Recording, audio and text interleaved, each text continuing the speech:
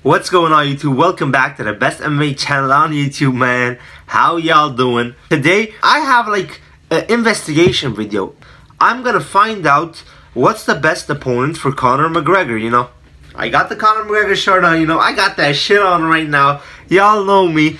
I'm gonna tell y'all which fight is the perfect fight right now for Conor McGregor. Islam Makhachev. Islam said he would fight McGregor. He said why not? It's easy money. So he said yes. He said who in their right mind would turn a McGregor fight? He said it's an easy fight and it's gonna do the most money. So why not? But for McGregor, we're gonna look which fight right now he can win. That's my point in this video. Find out the best fight that he can win and he can gain something from it. Islam Makhachev, low risk because everybody expects him to get whooped. It's high reward he gets the belt, he beats the Dagestani, he avenges the Khabib loss, kinda, because Khabib is gonna be in the corner. But Islam beats him. I'm putting the X on this fight. I don't want this fight to happen next. It shouldn't happen next. As a McGregor fan who's also Armenian, Arman is the only man alive right now that can beat Islam. Nobody else. Oh, except Ilya Topuria. I think Ilya can beat Islam in the future. But right now, Arman is the only one who has the potential, and I believe Arman will beat him. Let's cancel McGregor, Islam Makhachev. Second fight, McGregor Charles Oliveira. Charles Oliveira wants that money fight too. Tell me the money, brother. Let's go. Oliveira been speaking about McGregor for years. He wants that fight. If he beats Michael Chandler, knocks him out, McGregor Oliveira, it's gonna be a money fight. You know, two big stars, main event big money fight, risk.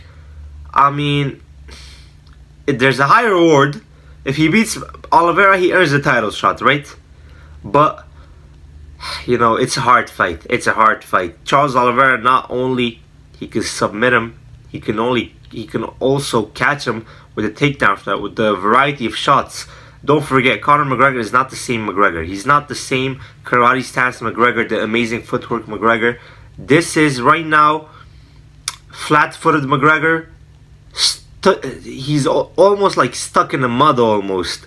Too stiff, too slow, stuck in the mud. You remember when he said that about Cerrone and the whole 155ers? Now he's one of the too stiff, too slow, stuck in the mud people. He is one of them. He's flat-footed. Charles Oliveira, he finishes him. Submission or what, I don't know. Charles Oliveira beats him too, safe to say. I'm sorry.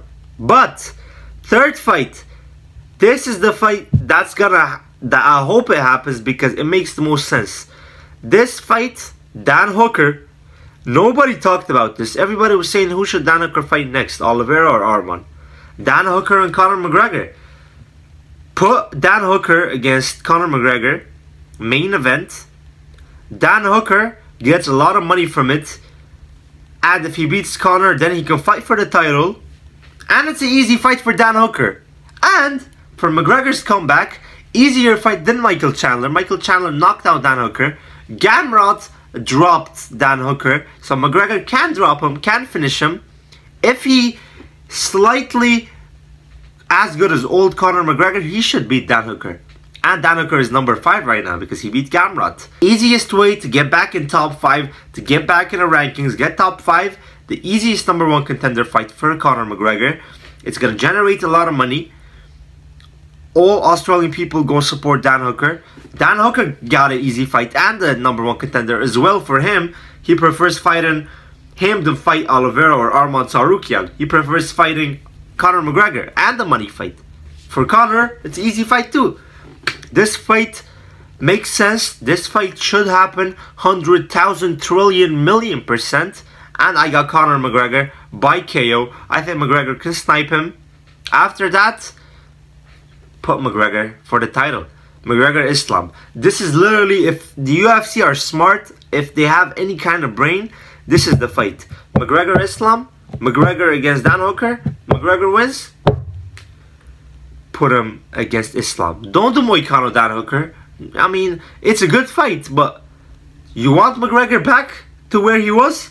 Put him against Dan Hooker. That's an easy fight. If Dan Hooker wins, then Dan Hooker is gonna get money. His name is gonna get bigger. He's a fun fighter. He doesn't shoot takedowns. He's a fun fighter. So hey, you set up Dan Hooker for the title. You you give him a you give him a title fight.